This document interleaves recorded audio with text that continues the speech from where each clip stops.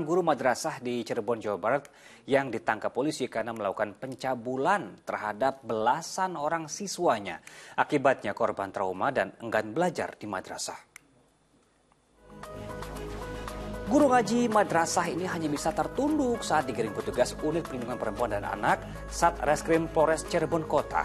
Pria 52 tahun ini ditangkap lantaran melakukan pencabulan terhadap 11 orang anak didiknya yang masih di bawah umur dalam menjalankan aksinya, tersangka merayu korban dengan modus belajar di ruang kelas terpisah.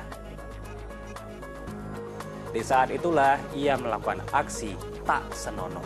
Akibat tindak asusila, tersangka dijerat pasal tentang perlindungan anak dan terancam kurungan minimal lima tahun penjara. Sementara para korban trauma dan enggan kembali belajar di sekolah madrasah.